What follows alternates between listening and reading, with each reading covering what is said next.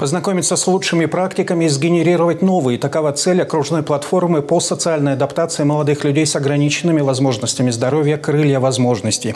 Она прошла сегодня в Архангельске. Ранее площадкой выступил Новосибирск. Там форум собрал четыре десятка участников. В столице Поморья заинтересованных оказалось в два раза больше.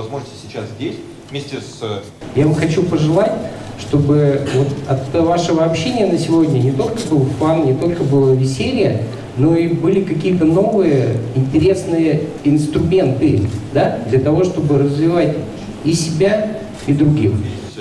Основная тема платформы – инклюзивный туризм и адаптация людей с особенностями здоровья в современном мире. Эксперты из Москвы и Архангельской области познакомили участников с собственным опытом. Например, Ольга Лоева руководит столичным благотворительным фондом «Действуй», который занимается вопросами трудоустройства и социальной активности людей с инвалидностью штука, очень модная. Сегодня на форуме очень интересное направление – это туризм.